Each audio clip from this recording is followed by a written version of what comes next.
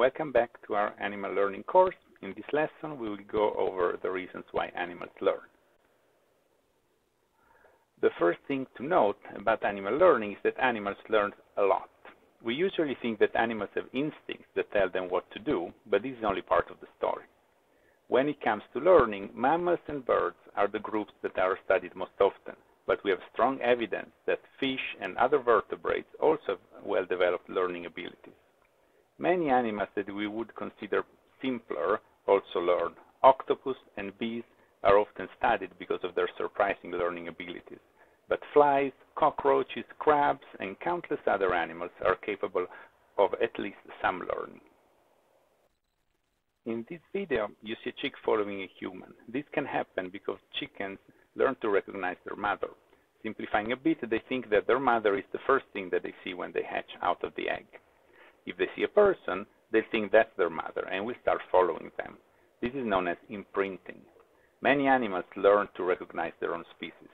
The process of attachment in humans, through which we bond with our caregivers, is in many ways similar to imprinting. In this video, we see a rat dragging a slice of pizza in the New York City subway. Rats did not eat pizza until a few decades ago. There is no instinct to eat pizza, but the preference for pizza can be learned because rats are what we call an omnivore. That is an animal that can eat a broad range of foods. Similarly to the pizza rat, many animals learn what to eat. It can seem strange that these animals lack knowledge about what to eat, which is such an important part of survival. But this also makes them more flexible and capable of adapting to changes in their environment. If rats had fixed instincts for what to eat, they would not thrive as much as they do in our cities. They could not have learned to eat pizza, donuts, and countless other food scraps.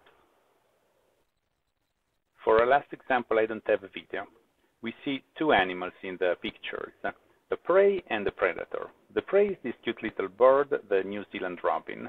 The predator is the European stoat. It's small but fierce and can take down animals that are 10 times its size. Until a couple of hundred years ago, the New Zealand robin didn't have to worry about the stoat because, as their name indicates, they live on different continents. However, the European stoat was introduced to New Zealand by British colonists and was very successful in hunting little birds and other animals. What did the New Zealand robin do? It learned to recognize the stoat as a predator, so as to become afraid of it and keep a distance. Now that we know that animals learn a lot, we can ask why. Learning sounds great, but it uh, can also cause problems. First, it takes time. Even a smart animal like a rat takes about 20 to 30 attempts to learn a simple choice between left and right. We know this from uh, laboratory studies. Second, learning is risky. What if you don't get the opportunity to learn the right thing? What if you are a chick and the first thing you see is a fox, for example? To add to the puzzle, we know that instincts can be very powerful, so it seems like animals could be equipped with much better instincts and wouldn't in that case need to learn that much. Let's see a couple of videos showing uh, how powerful instincts can be. This first video shows a squirrel burying a nut. It was filmed in Brooklyn. This is complex behavior requiring the squirrel to find a suitable burying place, dig a hole, bury the nut, and cover the hole again.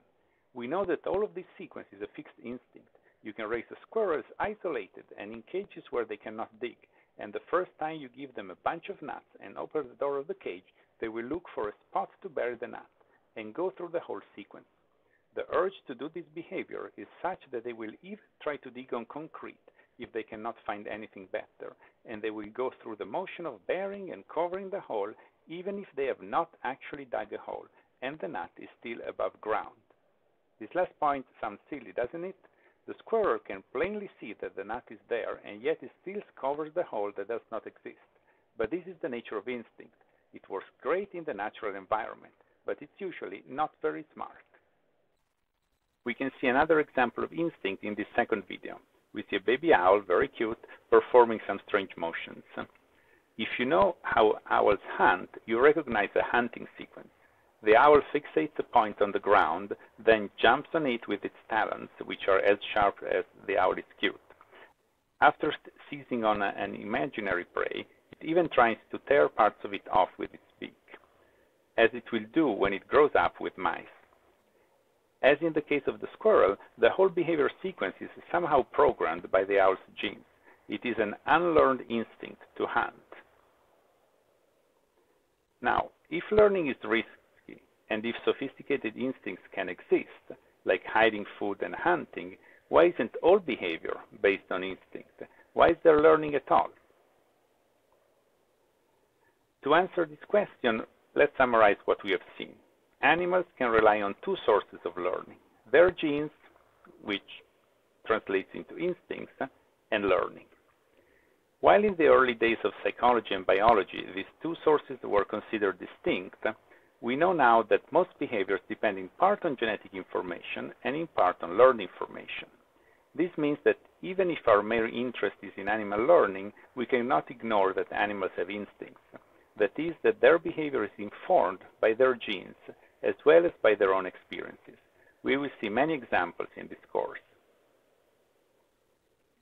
Now, we can finally answer our question, why do animals learn? Why isn't their behavior completely instinctual? There are at least two reasons why. First, many things in the environment change faster than the gene can handle. Genetic evolution needs many generations to shape an instinct. A rat can learn to eat pizza in a day, but it would take many generations to recognize the sight and smell of pizza innately. Even if what an animal eats is pretty stable, where to find it is usually not. Hummingbirds, for example, never eat anything else than flower nectar or artificial substitutes like sugar water. But they cannot know where exactly flowers are in the environment. And so they have good spatial learning abilities. They even remember which flowers they have emptied recently so that they can avoid them. In summary, there are plenty of things that change too quickly for the genes to track, and animals handle these things by learning. But what about things that seem stable? For example, what a chicken looks like. Why doesn't the baby chick have an image of a hen in their brain? We don't know the exact answer to this, but it seems that some things are simply very hard for the genes to do, and learning is reliable enough to work most of the time. Unless humans are around to mess with the process, the baby chicks can reliably imprint on their mothers because she's the first thing that they see 99% of the time. The take-home message from this lesson is that learning enables animals to be more flexible than if they relied only on fixed instincts, and that it helps fill the gap in knowledge in situations that the genes handle poorly. Here are a few lessons to study next. If you want to learn more about the robin and the stoat, you can read the article referenced here by Maloney and McLean. This lesson is over. Happy learning to everyone.